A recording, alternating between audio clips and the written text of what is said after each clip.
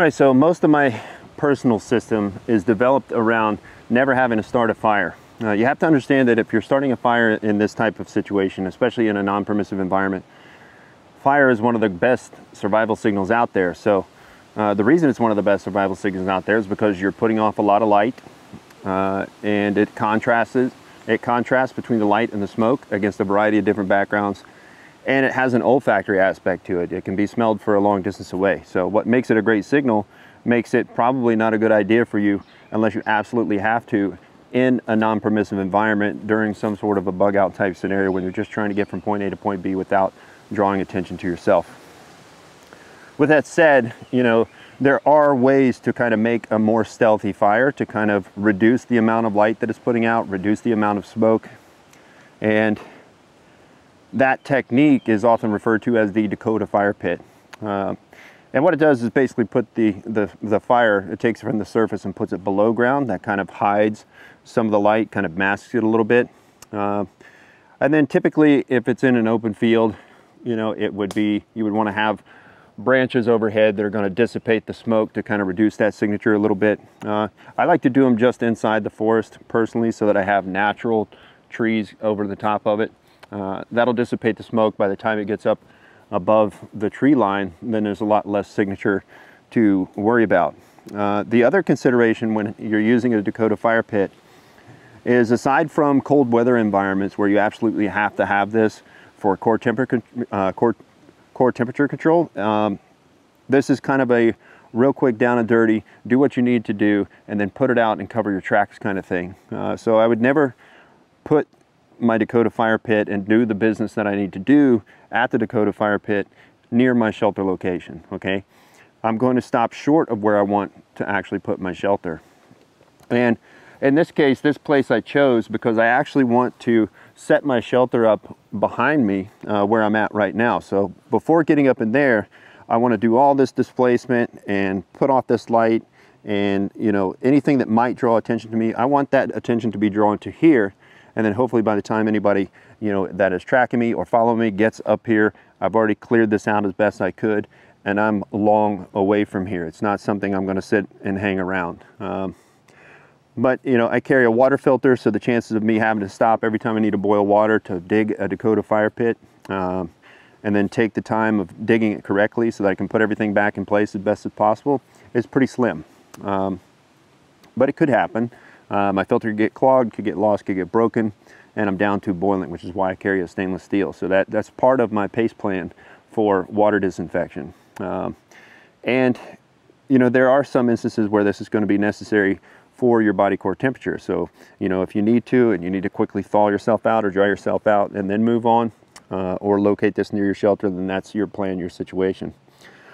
Uh, so the key things to this is that you have a main hole, if you will, that your Dakota Fire hole, Dakota Fire pit, that's about the size of a one gallon paint can. Think of it that, that, that size.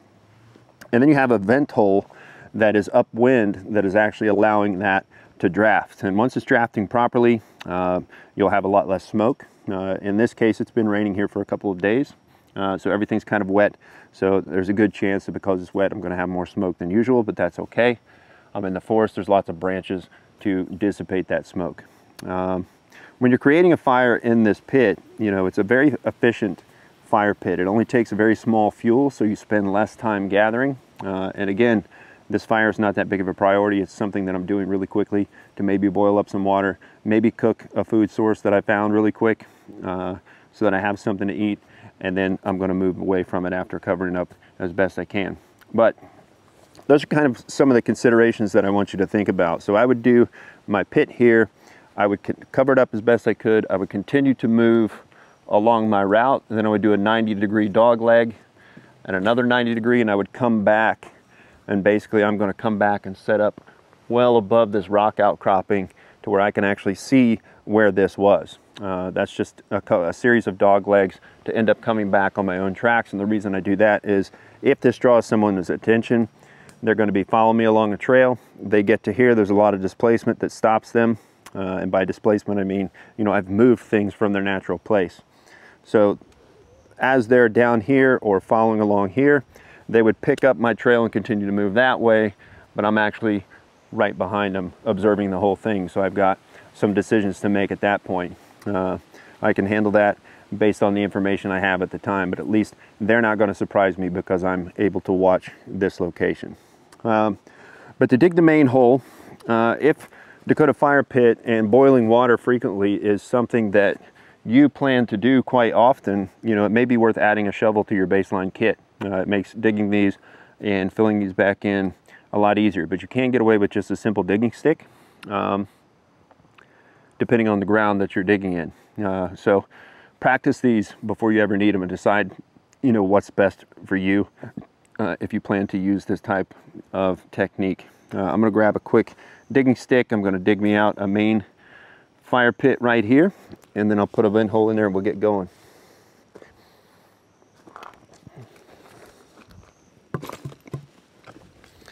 All right, for a digging stick, it's basically exactly like it sounds. It's just a hardwood stick, not a dead stick, that is sharpened on the ends and it's useful for digging, all right? So I'm gonna dig this out, get rid of the debris. If this wasn't so wet, I would take the time, I would probably lay my poncho out and everything that I took off, I would put on the poncho so that I can put it back as close to natural as possible. This is all wet and muddy and chewed up, so I don't think it'll make that much of a difference. Uh, and again, I'm also gonna be doglegging to look back down on this area to kind of mitigate anyone that's following me. But I'm just gonna dig this out as best I can. And with a stick, you know, it's easiest to just kind of break it up and pull it out with your hands. And this part takes a little time.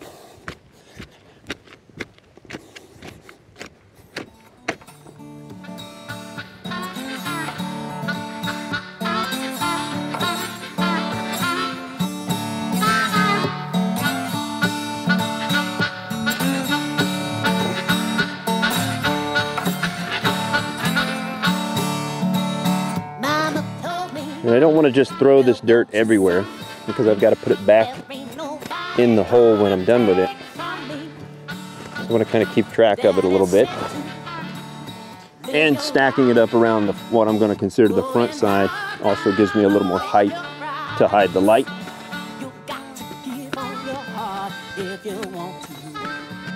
But for a lot of places, it's just a matter of breaking it up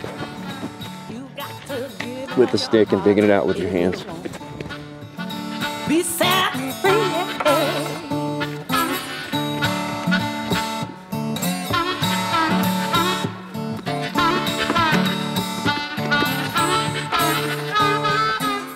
Starting to get about the depth I want it.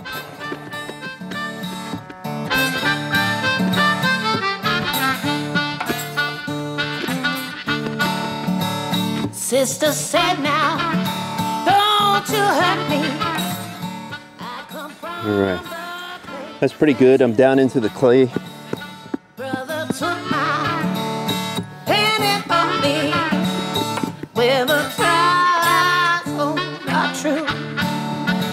You got to give of your heart if you want to.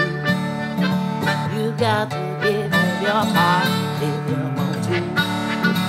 You got to give. Now that's pretty good. I'm down into the clay. It's about the size of a gallon paint can, so I'm pretty happy with that. I hit a pretty large rock here that is just gonna have to be part of the bottom of the fire pit. It'll be okay.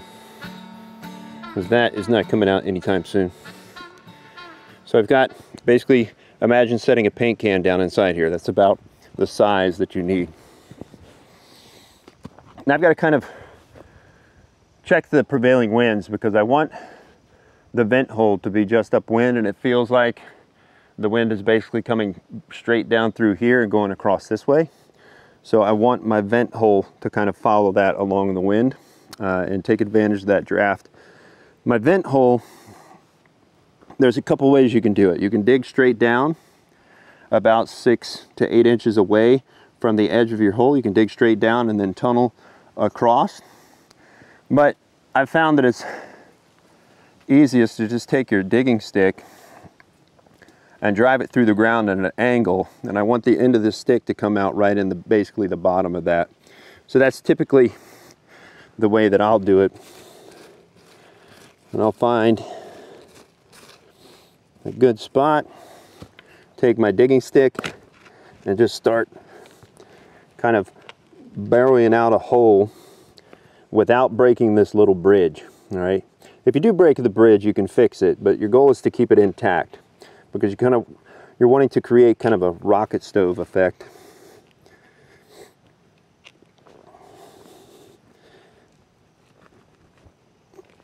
Push it in a little further, kind of bore that hole out a little.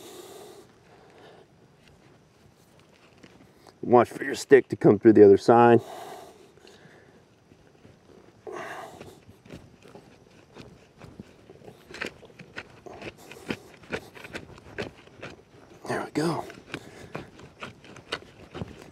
Making that vent hole a little larger.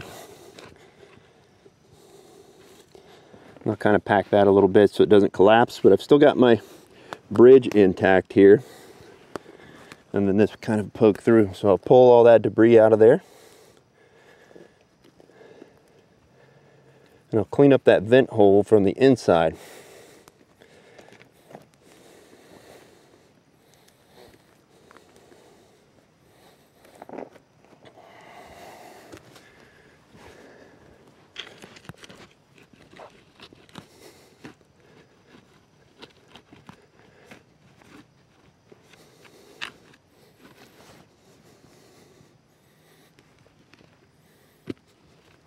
Just to make sure I've got a good draft and this is venting nicely.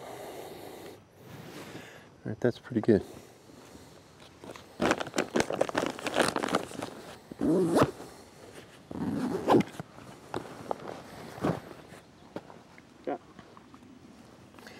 All right, so just to make this as quick as possible, and because it has been raining, I've got some cedar bark tinder, um, but it's extremely wet. Um, so just to make it quick, I'll use one of the mini Infernos because this is going to take the ignition source rather quickly. It should burn long enough to dry that out and get that going, then I can add some sticks.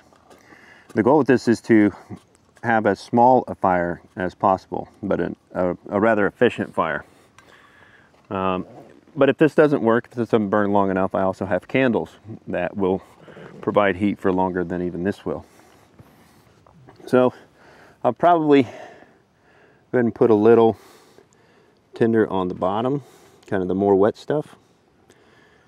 And save a little dry for on top.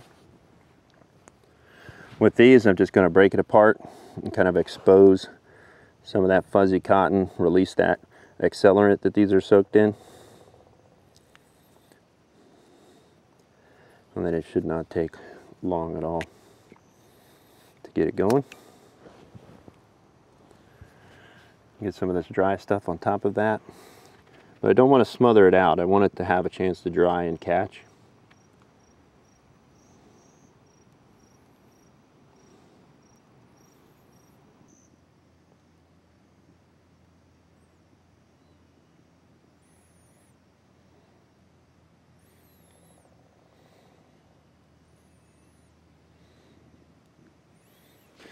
It's very encouraging when they don't snap.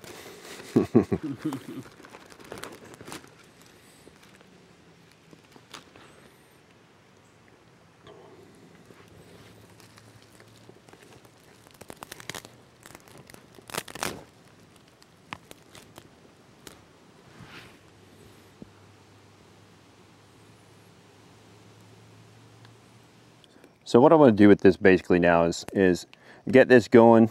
Uh, it's a very, very wet day, so it's stubborn, so I've got to kind of slowly feed this in. It looks like the wind's changed a little as well, so I'm going to shift. My goal is to get a little bed of coals going here and get these flames nice and low.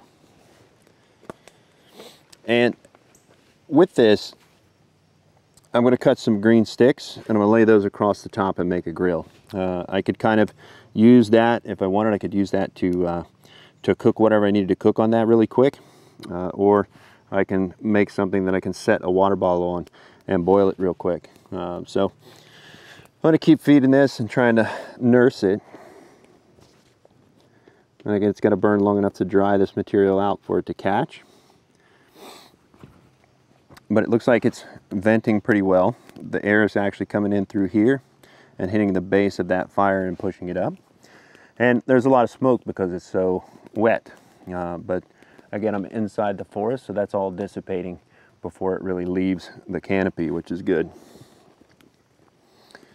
But once this gets going really well, it doesn't take a lot of sticks. It doesn't take a lot of large fuel, so you don't have to spend too much time gathering things up. So I'm just going to keep feeding it. Little bits at a time. As long as the flame is above the last bit of fuel I put on there, then it's safe to add more fuel. But again, with this one, my goal is to keep a very low profile.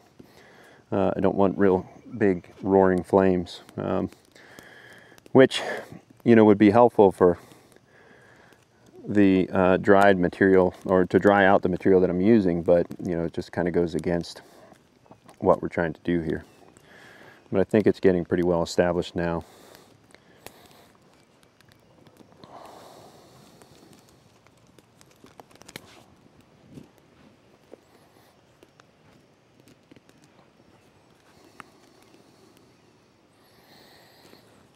let that all catch, dry out and catch and burn down a little bit and I'll start adding slightly larger fuel. I'm gonna try to find some dry stuff though.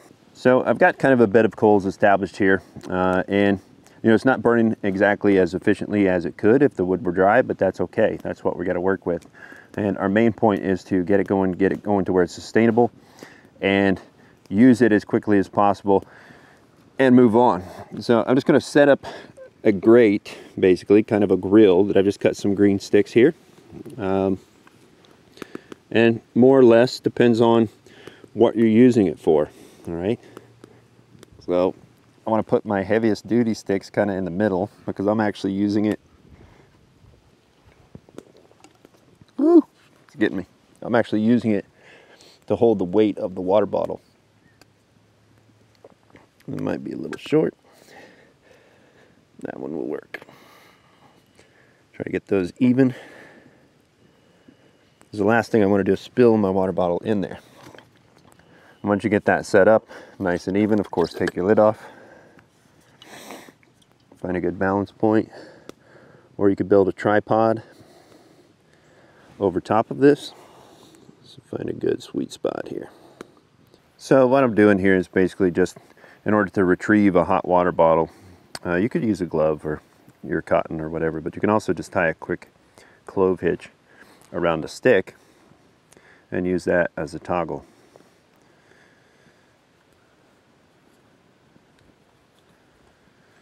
That is a clove hitch. I've got two parallel wraps with a diagonal locking bar and an overhand stopper knot. that is just two opposing half hitches. I can show you how to tie that real quick.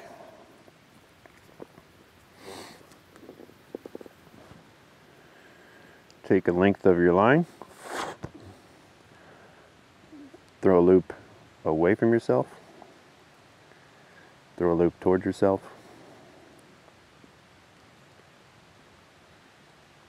you got one's away, one's towards, and then cross. I say to bug, cross one side, it's still there. It's pretty good though. Cross one side over the other and that forms those two loops. Place your toggle right in the center. And then when you flip it over and tighten her down, you've got your clove hitch. Two parallel wraps, diagonal locking bar, stopper knot on the end keeps it all from coming undone. If you pull it tight, it'll hit that stopper eventually and won't come out. And that gives me a way to retrieve my water bottle off the fire and I like to offset it to one side so I can get a camming action going.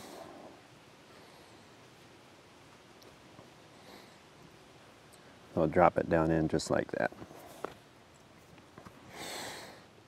Bring it over to the water bottle. Drop it in. I got to get that tail in there. Catch one side, catch the other. lift the water bottle up and set it over so that it will cool down. Put it somewhere even so it doesn't spill. That's pretty good. Release the tension on that, pull the toggle out, and then that you can wrap up and keep that right with your water bottle and you'll have it for the next time. That's a simple bottle toggle.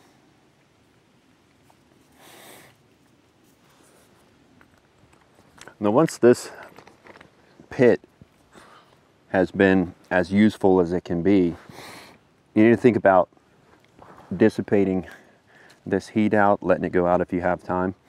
Uh, and if it's not a kind of post-event type scenario, then obviously, you know, you got concerns with leaving things smoldering in the ground um, because they can start uh, a root fire. It's possible in some places, uh, a lot of places it's not. The ground is so moist here uh, and the amount of clay that this is actually embedded in, I'm less worried about it. Uh, and obviously in some sort of, you know, uh, scenario where you're just trying to, you're actually bugging out, then, you know, that might be the least of your worries. Um, most of the underground fires that are burning actually coal beds burning, not from the Dakota fire pit. But if you're practicing this te these techniques, and it's definitely something to be concerned with. You should let this go out uh, or attempt to put it out before you just cover it up because it, they can smolder underground in certain conditions, certain environments. Um, here, I'm not quite so worried about it but it is a good idea to kind of dissipate that heat a little bit. If you have time, let it go out. If you don't, go ahead and cover it up because this is drawing attention to you. Because if somebody smells this at this point, you've kind of alerted them that someone is out there, someone is out there doing something. Uh, so the chances of, even if they're not an experienced tracker chasing you through the woods, the chances of someone, you know, this catching someone's attention and then possibly wanting what you have uh, is, is pretty good. So you want to kind of cover this up as quickly as possible and continue to move out doing that 90 degree, 90 degree, 90 degree dog leg that we talked about. And so for this, I'm going to let it go out a little bit. Uh, I'm not too worried uh, about being followed at this point. Then I'm going to cover my tracks as best I can, and I'm going to continue to move out. I'm going to set up my shelter location after I dog leg up and around, and I'm going to kind of watch this area as I bed down for the night.